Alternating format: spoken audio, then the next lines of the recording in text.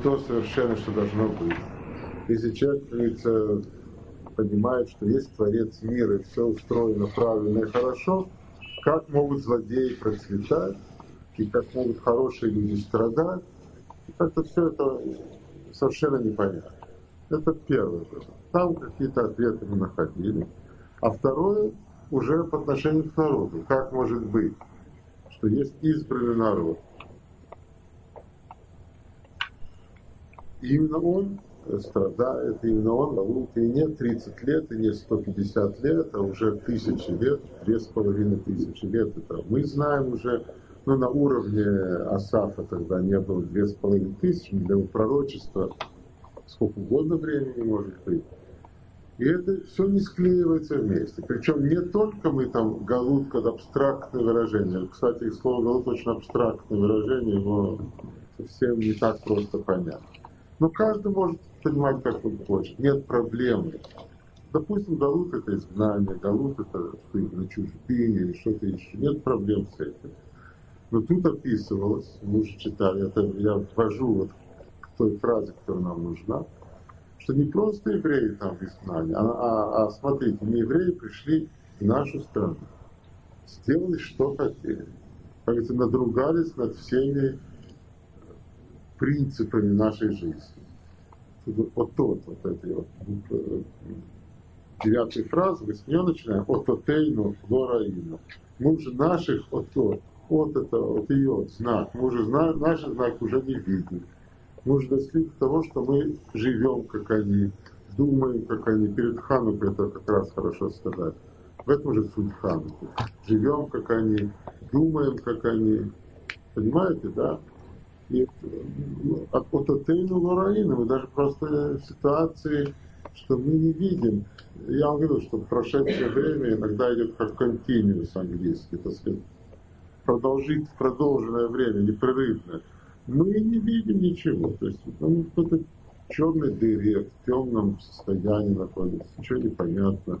И все это продолжается бесконечно. И это не наше, не ототейну, как наше. Мы люди, мы придумали теорию, над ней надругались наши враги. То есть мы дураки. Речь идет о том, что Всевышний, это его Тора, над этим надругались, над его дом разрушили, его знаки отменили, его идеи убрали. В этом же смысл, понимаете? Нет, а мы придумали и нам по голове дали. Ну, значит, вот как на иврите говорят. Плохо думали. Это же Тора, это же... Что это такое? Вот это я, заостряю этот вопрос. Потому что именно таким образом этот вопрос был э, здесь показан. И мы читаем эту фразу. Вот это Лаваину, Эйн от Наби. И нету больше пророка. Мы знаем, после разрушения первого храма пророчество закончилось. Оно еще инерционно продолжалось некоторое время. И Хескель, э, Мордыхай, вот, э, Эстер, э, Хагай, Захария, Малахи, это последний Малахи, Эзра, Нехемия, все они были пророчества, да, но они все родились вокруг разрушения, они не были потом. На этом все закончилось. Как бы поезд еще инерционно двигался, и больше пророка, который называется Нави, то есть Ашер Миви, Двар Хашем, больше нет. Есть Руха Кодыш, есть люди, на том уроке сейчас я говорил про Раши, и Рамбам, можно сказать, которые абсолютно очевидно нашему уму, они писали в духе Руха Кодыш. Потому что обычный человек не может написать как Раши или Рамба. Наши учителя в Талмуде, все у них был Руха Кодыш. Но это нам не очевидно, просто верим, что так. Откуда я знаю? Почему видно, что у Раби Акива есть Кодыш? Мы верим, что так. Но Раши и Рамба мы их читали, труды читали, не войска, а труды. Эти труды не могут быть написаны просто так. Но Руа Кодыш это не Нави, это не пророки, это не, они могут от имени Всевышнего прийти и сказать, Ко, как это, откройте Ишаяу, Ирмияу, не важно, откройте пророк, как он говорит, Ко Амар Гашер. Ни Раши, ни Рамбам, ни, Пост не, не могут, не, не можем так говорить. Кто это Если будем, тогда у нас соответствующие больницы, где такие люди должны находиться и лечиться. Если они будут Коамар Хашем говорит. Их будет лечить тогда, понимаете, или просто пусть без рали не лечит. Слава Богу, будет гулять по улицам и пророчествовать на площадях. Но это к пророчеству не имеет никакого отношения, это имеет к медицине. А и здесь написано, אין עוד נביא, нет נביא. А אשר מביא, נביא, который приводит. Нет נביא.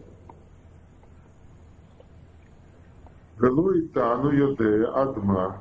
И среди нас нет человека, который знает, до которого это Адма. До которого это время. Сколько же будет продолжаться? До тех пор. Да, кто может сказать, что Геула будет завтра или через 20 лет или через 100 лет. Ни один человек, никто не знает. Поэтому, когда вы видите всяких городских сумасшедших или не сумасшедших, которые вам говорят, что где-то какой-то тайный раввин, который уже знает, что через два года, через семь лет, это все чепуха. Нет, не было и не может быть. Здесь прям черным по белому. И понятно, почему не может быть. Какая же будет свобода выбора, если будем знать сроки. Это не может. Так. Да. Тайна. Да? Потому что если про вавилонское знание было сказано 70 лет, даже Ашвирош это знал, и на этом строилось его хамство определенное от что он знал, что 70 лет ему показалось, он ошибся, помните, в счете он не, не знал точно, как считать. С евреями никогда никто ничего не может знать, поэтому это безнадежное мероприятие. Но он примерно угадал, просто ошибся на некоторое количество лет. В общем-то, он понимал, что что-то кончилось уже. И он рассчитал, что 70 лет, на самом деле еще не кончилось. Ну, то все равно ошибка небольшая уже.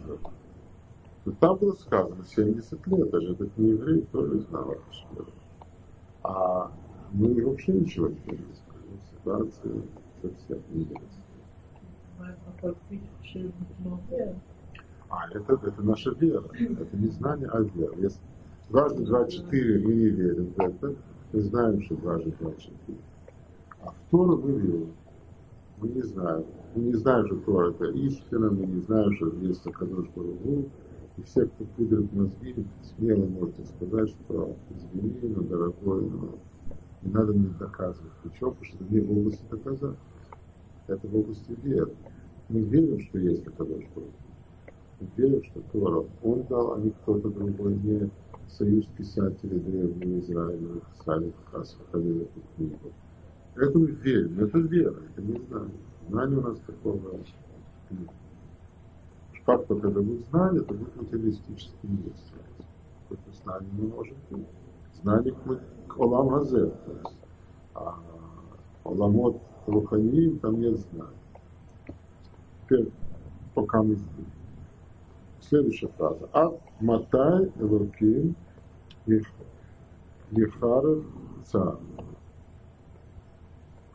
До какого времени Всевышний Элоким, э, царь это враг, да, который царь, враг. До какого времени он Ехаров, это значит, он будет ну, хамство. Феруш, да, ну, да, но тут как-то, да, это типа, да, феруш нефеш, да, значит, э, Спорет, Годет, есть такие выражения.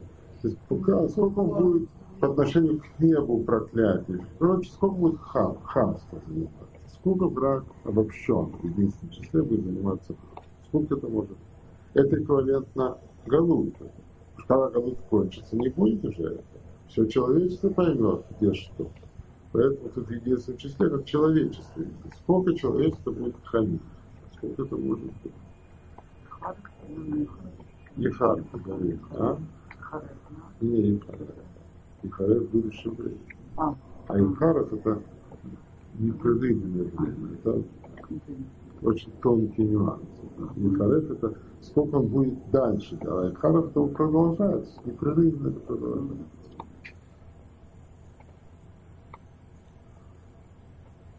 Енаец, а вот это уже в будущем времени. Енаец, Оев, Шимхана, Нецу. Что вот этот Оев, враг, Енаец, Неотца, это на иврите проклятие, типа, или презрение, оскорбление.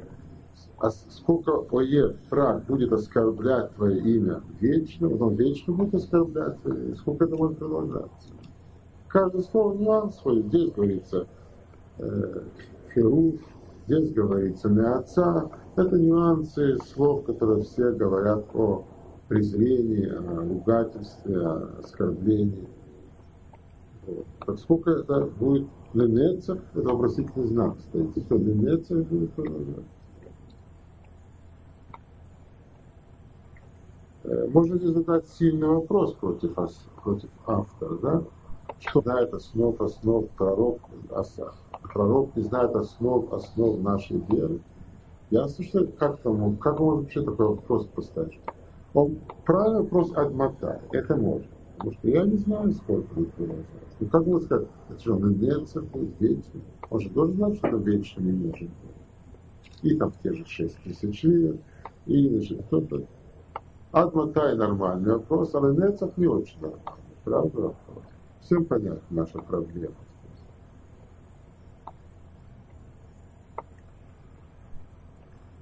Значит, э, э, слово «нецах» это я вам перевел на вечный, долгий спор. Но на самом деле, и так оно и есть, нормальный бытовой перевод, но надо глубже. Тогда «нецах» это означает, что некие явление продолжается так, что видно, что оно побеждает. Нецах – это вечность, но которая победительная, побеждающая вечность. Поэтому не время, что волнует автора, а что неужели все это, неужели они побеждают, неужели они не побеждают.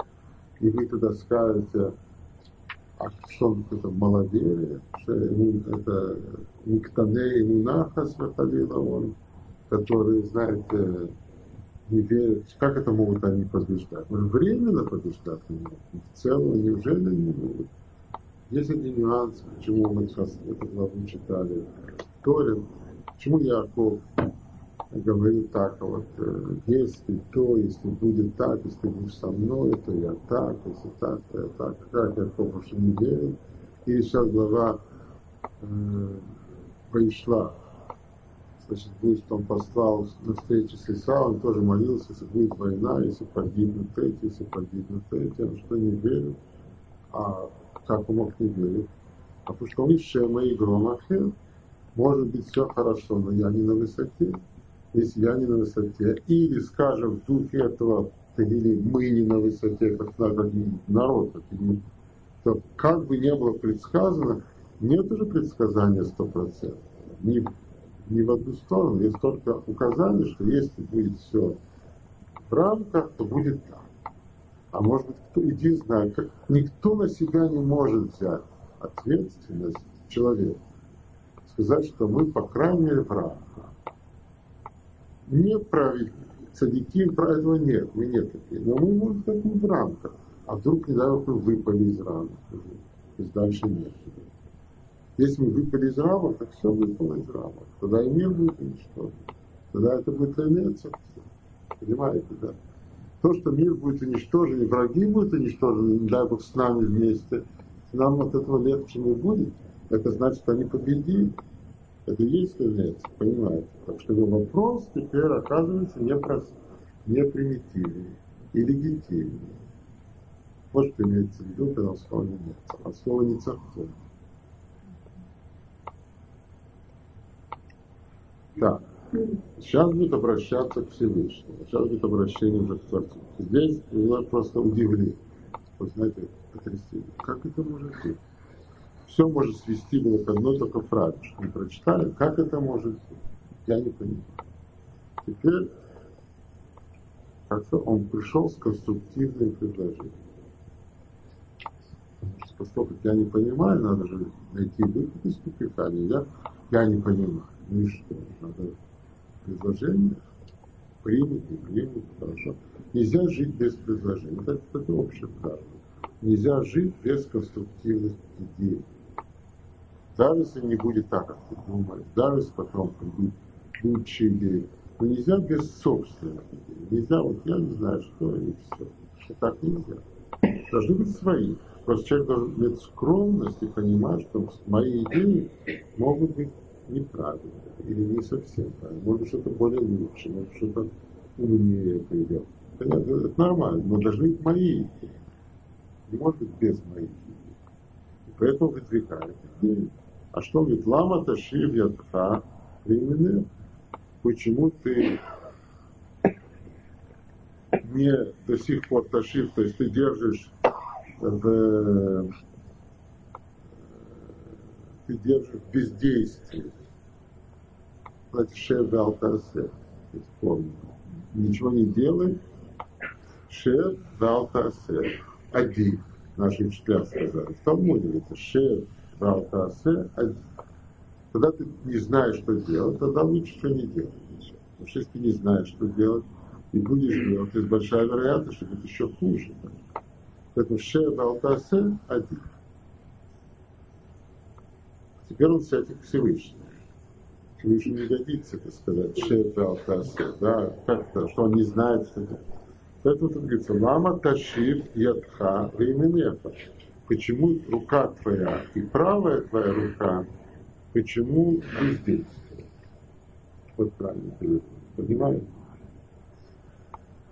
Только тут непонятно, что такое рука и правая. А правая рука уже тоже рука.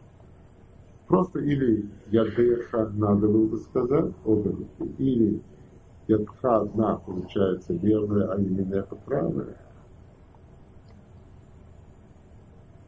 Да, есть, кстати, так тоже. Так тоже наши Ахами говорят так тоже. Что так оно и есть. Ядха это левая рука, а Иринех это правая. Что это значит? Почему сказать ядеха? Ядеха это же и левая, и правая.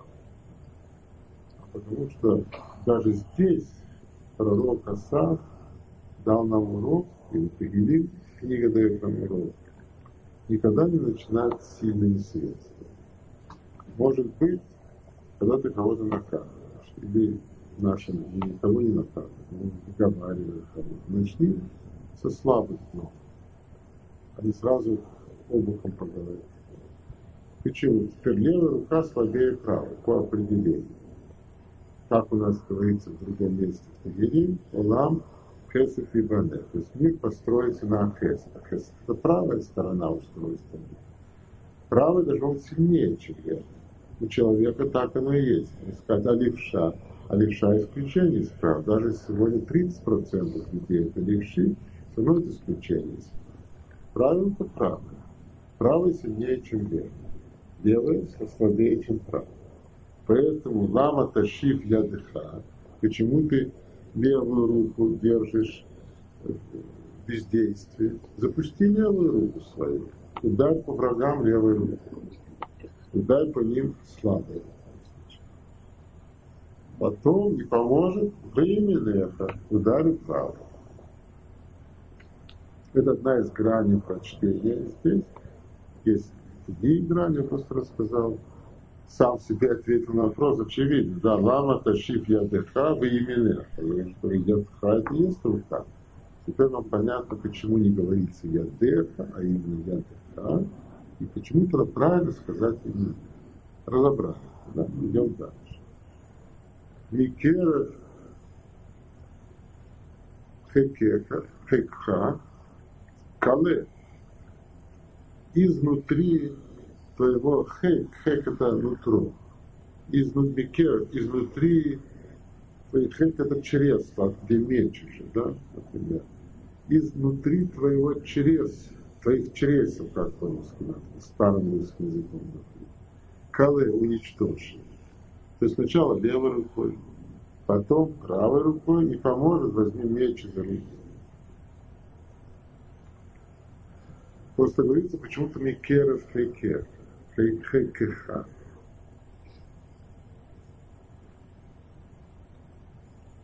Почему изнутри? Э, речь идет о смертном приговоре, как он призывает смертный приговор врагам. Так это может только изнутри. Это еврейский подход, наш подход. Нельзя поверхностно судить человека. Уж если мы говорим о мечах, то должны быть внутренне. Понимаете, нужно уже докопаться до конца. Поэтому очень удачно, что в Израиле нет смертной казни, потому что здесь же не сумеет никто никогда докопаться до конца и приговорить надежный человек. Что приговорят хотя бы одного несправедливо, убьют э, человека, которого нельзя убивать. Лучше пусть тысячу живут, которых надо было бы убить, чтобы ни один не попал бы на тот свет по нашей воле закону Бога. Так здесь как бы еще инстинкты там помогают, чтобы в Израиле не было смертных. Хотя она теоретически в законе есть, и была один раз задействована с Эйхманом. Но эту тему не будем обсуждать. Больших сомнений о том, кто такой Эйхман, у нас нет. И как-то на суде не было проявлены большие сомнения, кто он такой. Так что смертная казнь была определена Но здесь учат бекера изнутри должен Меч должен изнутри быть, а не такой, знаете. Сначала зарубить, а потом уже подумать, зачем это.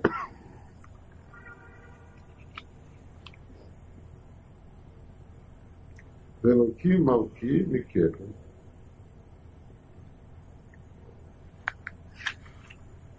Велоки, то есть перевод такой неправильный, но буквально по словарям. Элоким Алким и Кедом, это Всевышний, Он мой правитель изначально. По Эль Ешуот, Бекерев Арец, он э, творит спасительные чудеса, так сказать. Бекерев Арец, прямо тут опять керев, и там керев, и здесь керев, что это значит? Ну, прямо среди всего материализм. Даже там есть Ишуа. То есть в какой бы тюрьме, опять наша недельная глава, Есеф попал в тюрьму, в какой тюрьму ты не попадаешь, в какую беду ты не попадаешь, Ишуа всегда. Ну, очень хорошо. Но мы должны понять, что такое Велоктип, вернемся к началу. Мне не нравится мой перевод. Говорю, я все перевел замечательно, но мне это не нравится. И Кен. Всевышний мой царь уже изначально. Ну, грубо говоря, так сказать, дешевая фраза. Ну, а кто твой царь? Конечно, человек верит во Всевышний. Так он царь. Что мы тут прибавляем? Что тут нового мы ставим? Поэли Шотник Бекерев Арец есть этом мудрость, да, новое, что даже когда ты Бекерев Арец, уже, так сказать, внутри совершенно находишься, все равно там Ешуот. Ешуот это поворот судьбы. И это мой классический уже и запатентованный, запатентованный на изучение Тегелим еще 10 лет назад перевод для вас. Ишуа – это поворот судьбы. А слово Шаа. Поворот в сторону спасения. Да, слово спасение у нас есть Гацала, у нас есть полно Но Ишуа это значит поворот судьбы в сторону спасения. Нас слово Шаа, слово как Шаа это поворот, да? Шаэ это повернуть, Шаон это стрелка Так, тогда, значит, мы имеем... А, что? Шея это повернись. Шея, шея. А, шея. А, над этим надо подумать. Это ценное замечание. Спасибо. Шея может быть этого. Голова голову. Да, много из таких интересных. Так, ну, значит, решет, очень хорошо нам сказали. А в Элоким, Алким и что нужно читать Илин, да это не нужно. Но раз есть, значит, нужно. Так что нужно? Что нужно? Значит, тогда мы должны копнуть, конечно, чуть глубже, но это тоже мы не раз уже делали с этими словами. Что такое Элоким? А это, это то, что управляет судьбой. Поэтому Шма Исраэль, Шма Исраэль, слушай, Хашем, Элокейну, он правит нашей судьбой, Хашем это только он.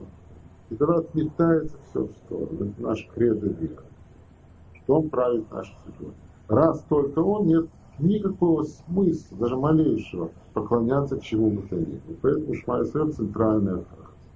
Потому что она оставляет нас, Творца, вместе. Ничего больше уже. Да?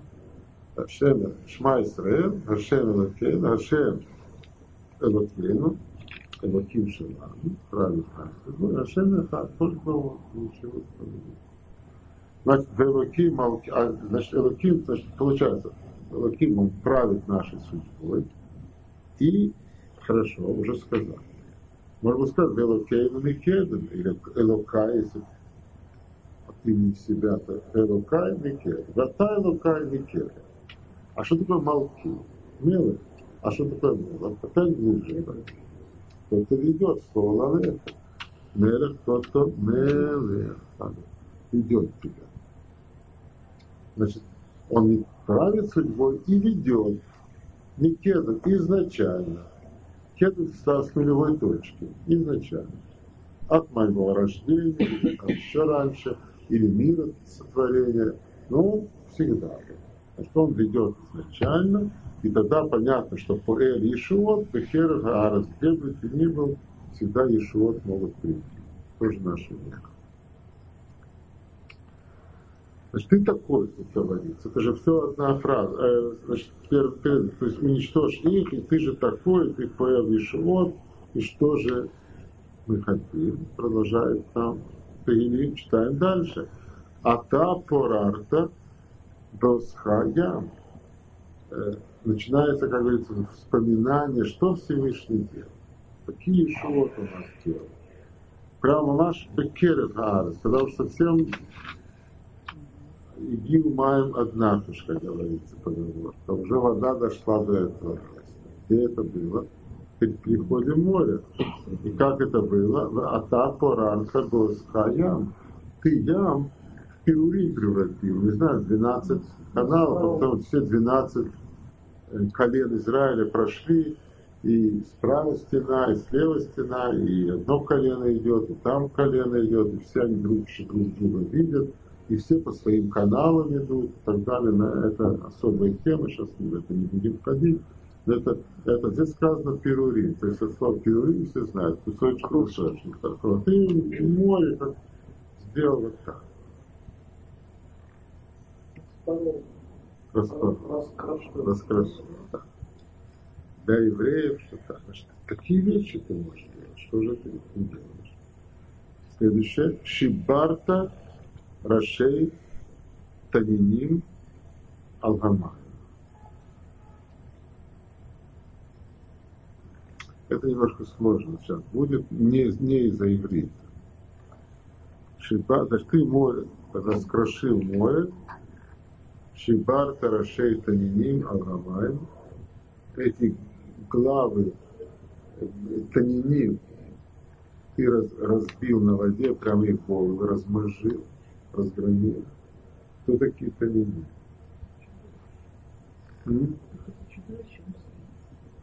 Это, да, значит, в биологических словарях для разговора это крокодил, но нам это не важно ты разбил головы этих каких-то чудовищ, каких-то зверей. Причем на воде еще. Они имеют отношение к воде. К воде, поэтому крокодилы в воде.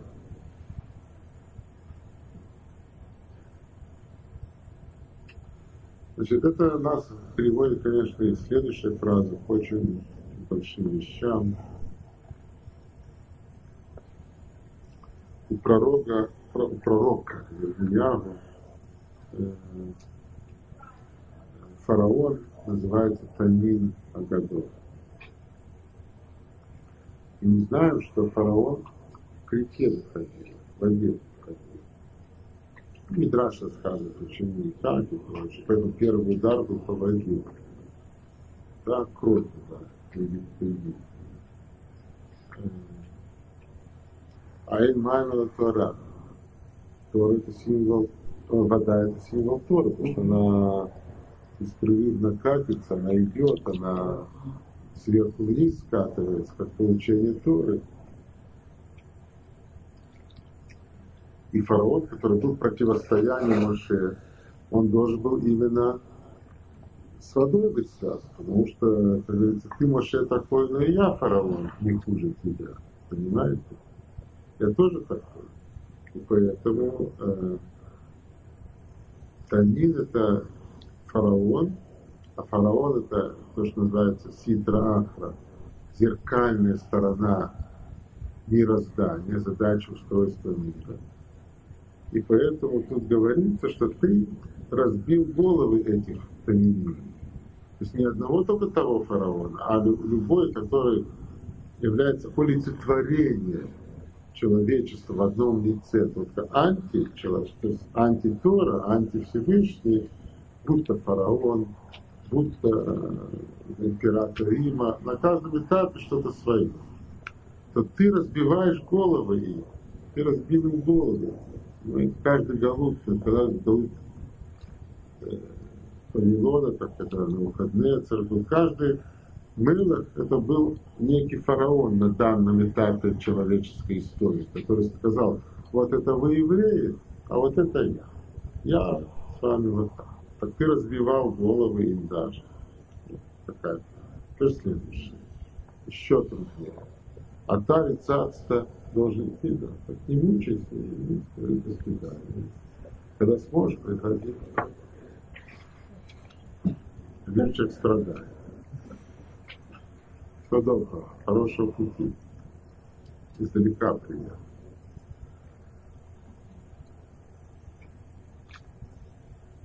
Следующая фраза. Ата рицацта рашели вета. Ты размажил, это просто на иврите размажил. Ты размажил. Особенно если работа позволяет или что-то. Э, для второй молитвы в день. Правило минута. Вот некоторые не успевают, так они могут второй раз Марию читать. Если читали один раз день, это уже выполняется все, дали за ним читали не то, что я сказал, а намного меньше. Но надо же стремиться к лучшему. Оптима... Я предлагаю оптимальный вариант. Это тот размер шахарита, который я сейчас обрисовал. Для женщин это оптимальный вариант. Те, кто читает еще одну молитву в день, поступает хорошо. Это вот есть уникальные случаи, э, не такие, но, скажем, может быть, один процент среди религиозных женщин, кто читает три раза в день молитву.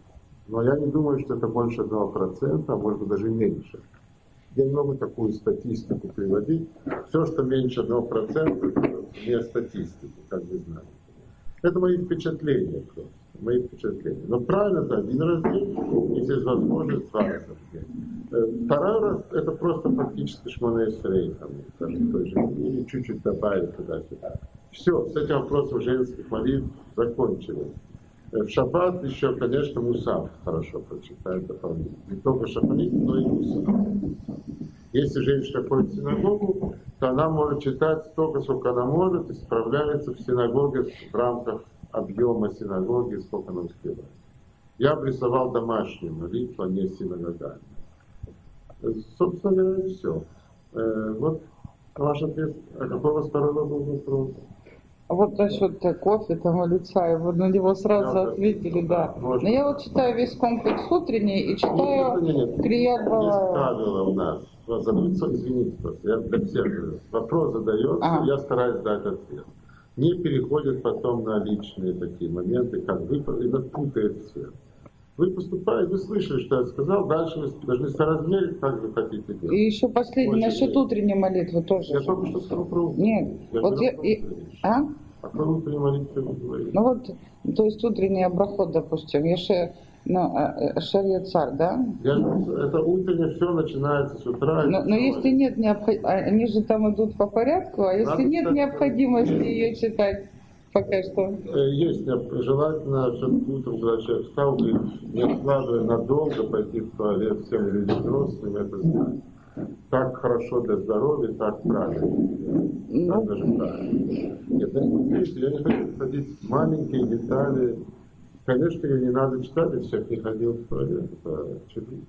Просто чудо. Ваш вопрос мы завершаем. Мы находим Беркота Шахара, Бли Кешер. Не, не, не, это вопрос, это сомнительно. Ой, это на Шахар, того, что человек пошел. Это немножко сомнительно.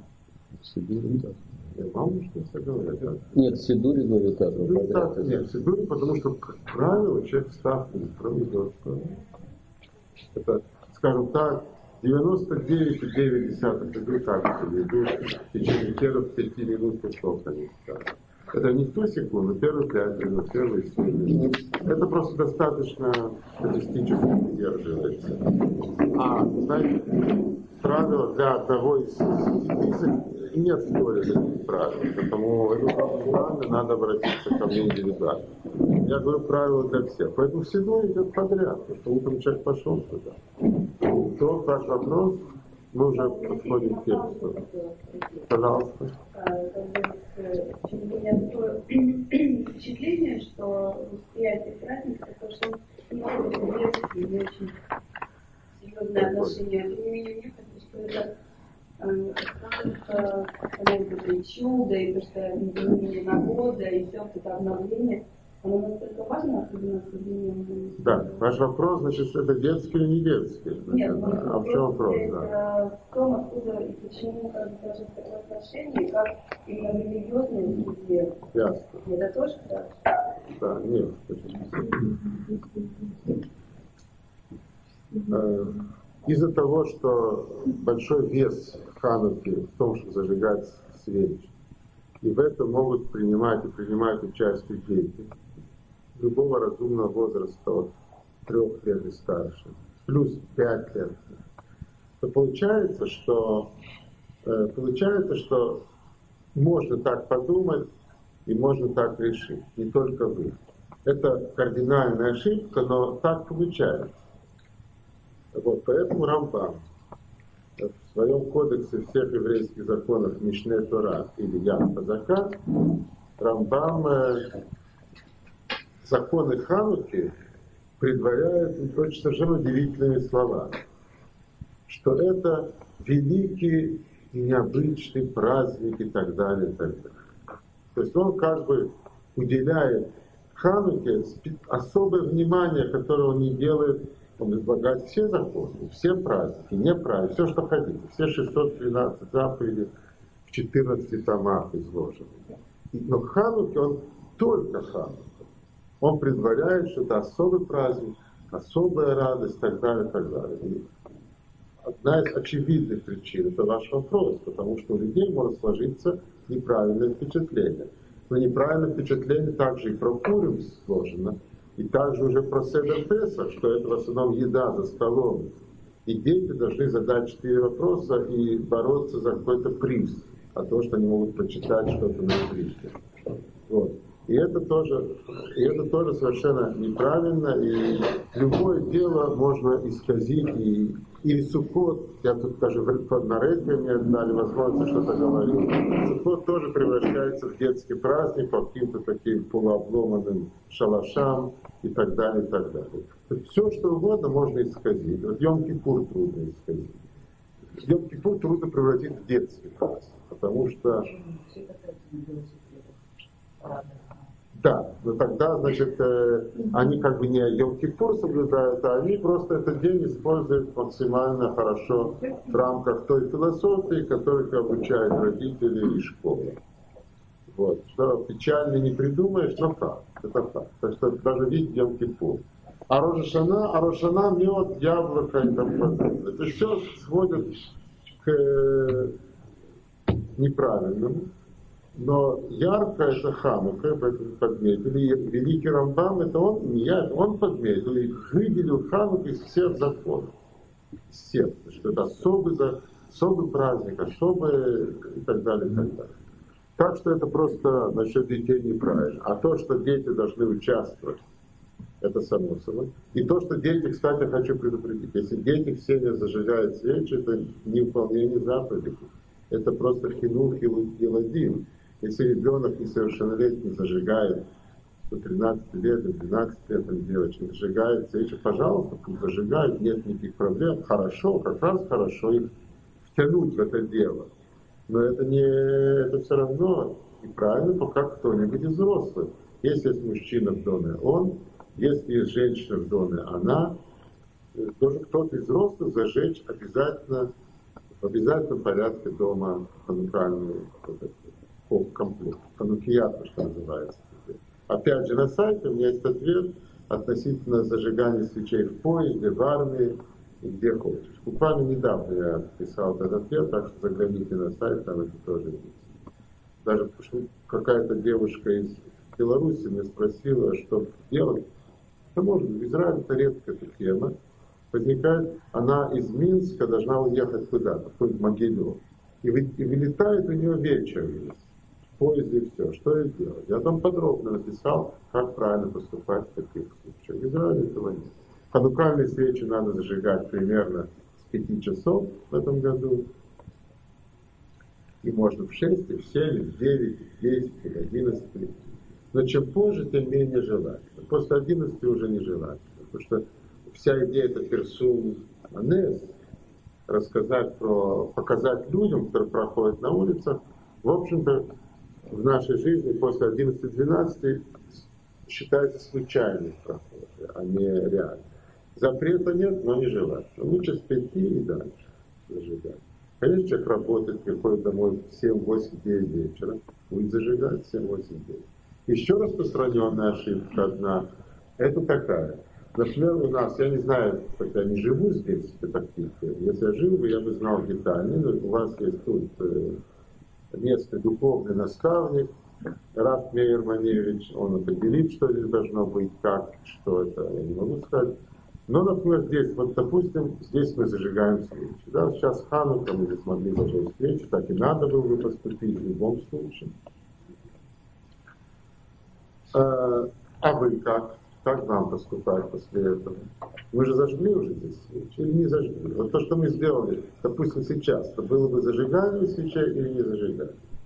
Ответ такой, если дома никто не зажег, если дома кто-то зажег, взрослый, то не надо прийти еще раз зажигать. Уже зажгли дома.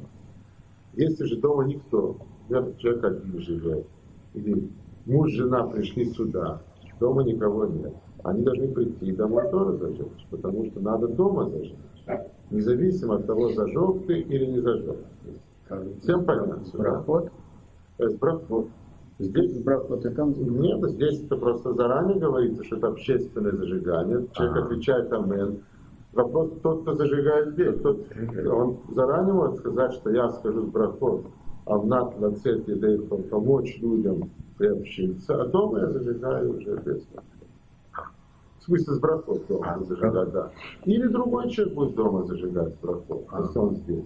Один только должен дома зажечь из взрослых. Дети не играют роли, они могут зажигать здесь, там, сколько хочешь. А если будет трое взрослых мужчин, каждый из них должен зажечь? Или... Нет, принято один достаточно. Один. Нет запрета, но принято один. Не надо больше зажигать. Не надо устраивать, чтобы 10 взрослых, там трое взрослых зажигали. И более того, даже если гости, что вы пришли в гости, и человек остается в гостях, он домой уже не придет, или придет очень поздно. Он может иметь право и нормально скажет хозяину дома, ну, там, где он в гостях, скажет, я присоединяюсь к твоему зажиганию, вот тебе шекель, стоимость свечей, чтобы мое участие было. И когда ты зажигаешь, то я участвую в этом тоже. И тогда он не должен дома зажигать. Вот. Можно и здесь организовать это тоже и сказать, мне трудно, я поздно, я в этот раз не смогу, я вот хочу шекель дать для того, чтобы зажигание здесь блюдо для меня тоже. Тогда можно. В этом нет проблем. Но он должен выразить активное участие, что он в этом принимает.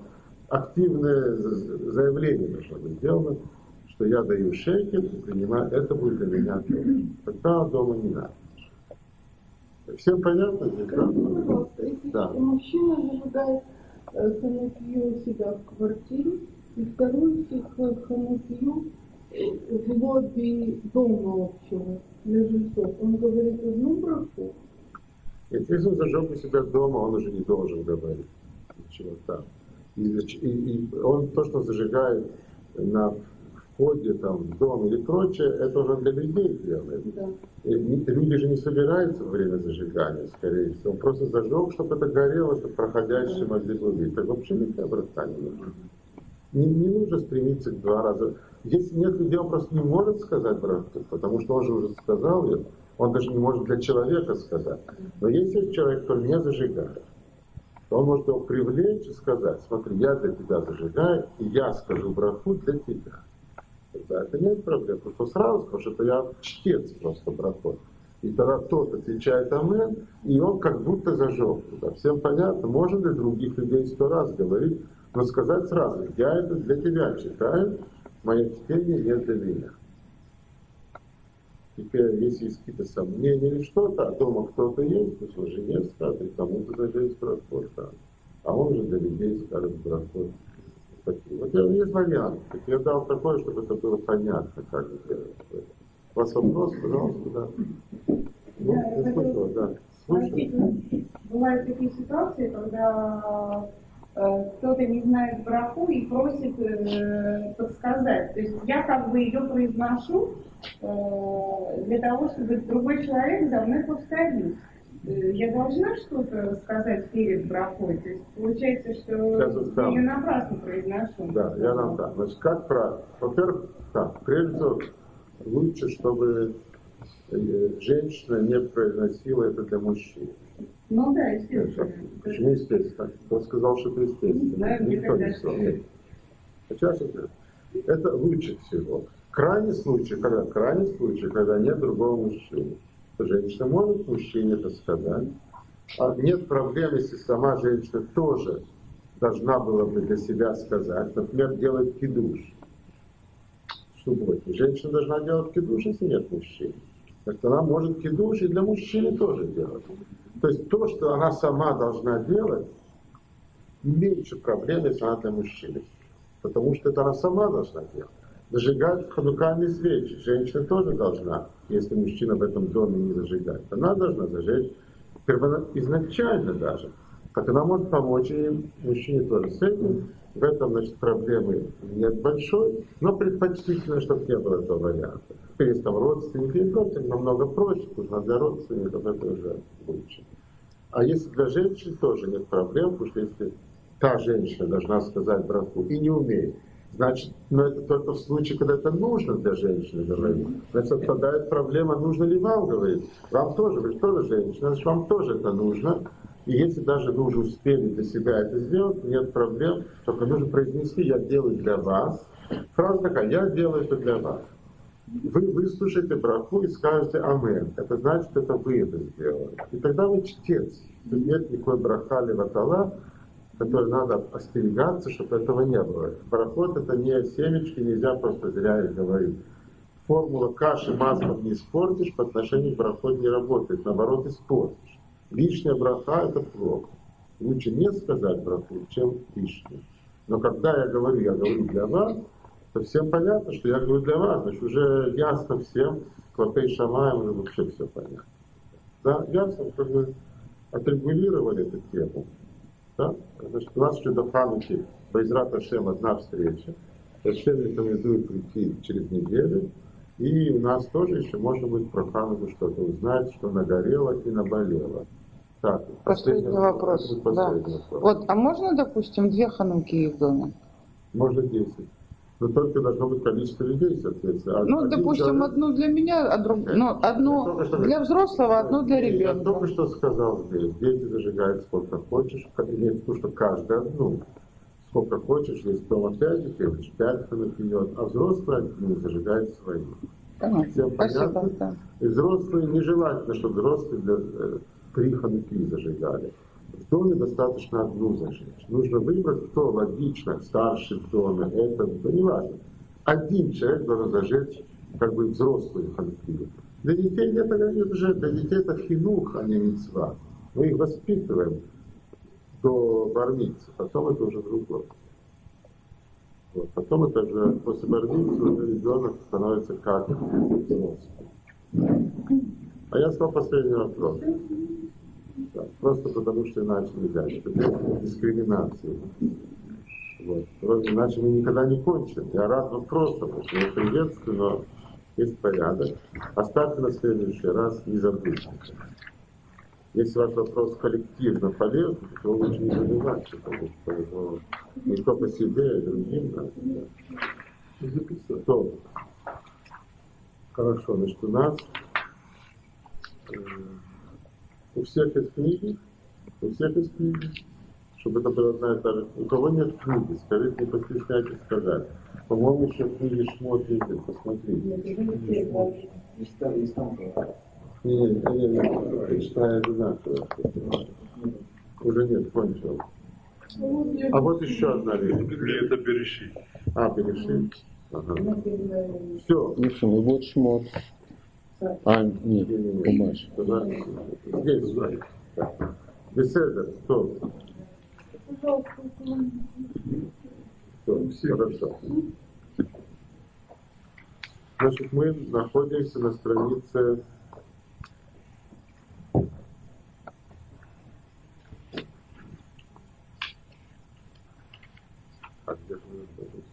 50 страница. Сейчас проверим.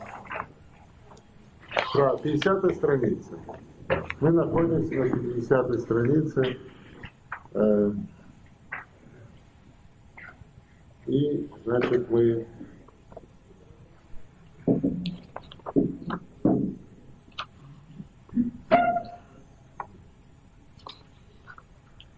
я бы хотел повторить просто прочитать, не задерживаться долго, но повторить. Третья строчка сверху.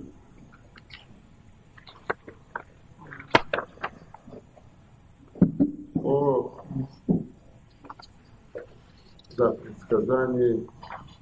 Тут такое, значит, Тора немножко очень необычно здесь у нас. Текст такой. Это как бы прошедшее время, то есть уже десятый удар по Египту, казнь, наказание уже есть. А с другой стороны, потом будем видеть, что это как бы предсказание. Но нас не должно удивлять, ведь нет времени на нет. Поэтому то, что Моше Рабен, ему, по-русски Моисею, потому что Моше никак не склоняешь, иногда трудно. Маша Амру ле Моше, и Нашамая. Ракадош Бару открыл Моше, ему. Э, так это все равно, что и есть. Понимаете? Вот. И, значит, будем считать, что это есть, уже было, что это уже. Значит, уже это Макат и Хоро, э, гибель первенцев, мы говорили, что это последнее, последнее открытие египтянам устройства мира, на которое они могли бы еще откликнуться, и, если такое произошло, теоретически, они бы не э, потеряли все, что они потеряли. И это в области по системе, как мы знаем, основной, так сказать, десяти проявлений, десяти проявлений Акадош Бару в мире, 10 способов называется сферот, то это последний, самый сильный, кетер, сам уже, то есть там уже идея, там уже все. И у нас э, эта фраза, которую мы читаем, она такая. Значит, третья строчка сверху, как я сказал, если у кого-то есть, э, не хватает, есть э, хумаш другой, да, видимо, придется выдать. Без русского Есть что-то без русского перевода? И все сплошное несчастье с русского перевода.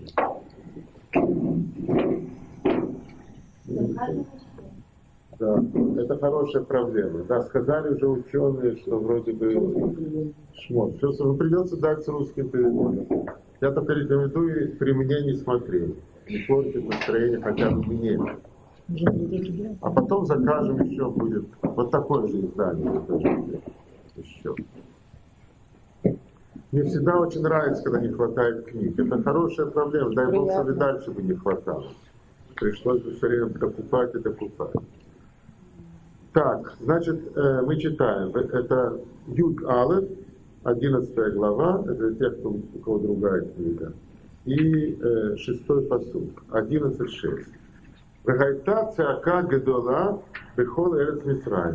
И был великий вопль э, во всем Египте, Ашер камогу ло мията, что такого не было вообще, в камогу ло тосир.